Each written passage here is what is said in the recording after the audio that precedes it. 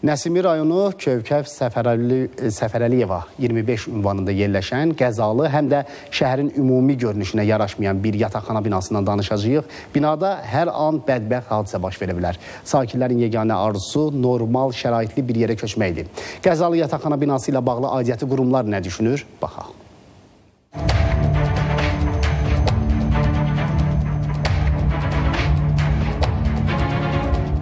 Şəhərin tən ortası ətrafda hündür mərtəbəli göydələnlərin inşası işləri sürətlə aparılır. Bir sözlə, ətrafda müasir inkişaf görüntüsü var. Amma bu müasir inkişafın içində bir də estetik zövqü çorlayan, eyni zamanda insanların gündəlik həyatını çətinə salan bu cür binanın mövcudluğu bu inkişafla heç də üst-üstə düşmür. Amma bu şərtlərlə hal-hazırda 49 ailə bu cür yataqxanada günü bu gündə yaşamağa məcburdur. Çay fabrikinin düz qarşısında yerləşən bina vaxtilə tramvay və trolleybus idarəsinin yataqxanası olub. 90-cı illərin əvvəlində yataqxanada məcburi köçkünlər və yerli sakinlər məskunlaşıb.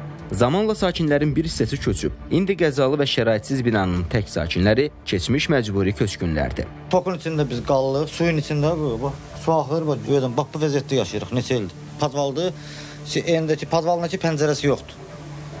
Onu da demişik. Qardaş onu da yazmışıq ki, heç olmasa gətirin bura, nə bilim, iki dənə pəncərə qoyaq. 93-cü ildən buradayıq. Vallahi gəldilər 2017-də buranın yerli cəmaatına pul verdilər. Biz qaçqınlara da güya artıq verəcəkdilər. Elə saxladılar. Sol bir yandan, tarakanı bir yan, antisanitar vəziyyət götürüb gedir.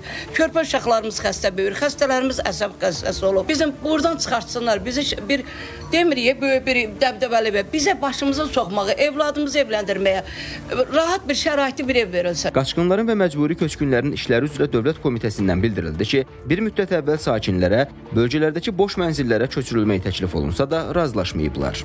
Dövlət Komitəsinin mənzil fondunda boş yaşayış sahələri yoxdur. Onlar üçün mənzillər yalnız işğaldan azad edilmiş ərazilərdə tikilir. Məcburi köçkünlərin öz daimi yaşayış yerlərinə mərhələli qayıdışı zamanı ilk növbədə ən ağır vəziyyətdə yaşayanlar yeni yaşayış sahələri ilə təmin olunacaqlar. Qeyd edək ki, hazırda binada 52 keçmiş məcburi köçkün ailəsi yaşayır. Əhməd Məmmədov, Samir Gülməmmədov, ATV xəbər.